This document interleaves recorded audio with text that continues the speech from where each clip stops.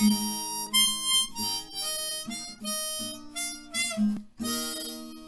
a warm summer's evening, on a train bound for nowhere, I met up with a gambler. We were both too tired to sleep, so we took turns of staring out the window in the darkness till boredom overtook us and he began to speak.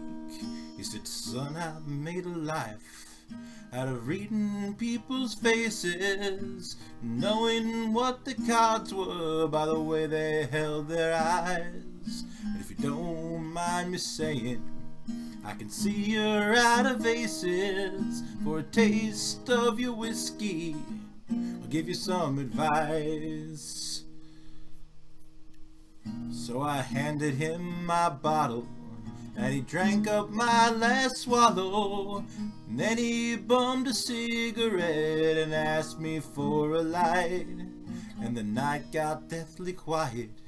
And his face lost all expression. Said, if you're gonna play the game, boy, learn to play it right. You gotta know when to hold 'em, know when to fold 'em, know when to walk away know when to run. You never count your money.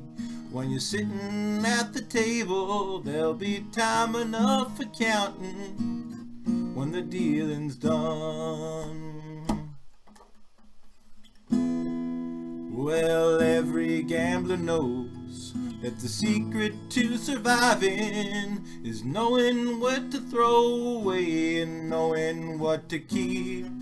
Cause every hand's a winner and every hand's a loser And the best that you can hope for is to die in your sleep And when he'd finished speaking He turned back towards the window Crushed out his cigarette and faded off to sleep. And somewhere in the darkness the gambler, he broke even, but in his final words I found an ace that I could keep. You gotta know when to hold 'em, know when to fold 'em, know when to walk away, know when to run. You never count your money. When you're sitting at the table, there'll be time enough for counting.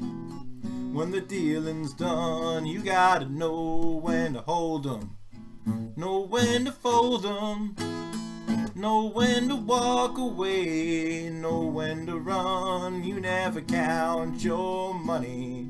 When you're sitting at the table, there'll be time enough for counting when the dealing's done.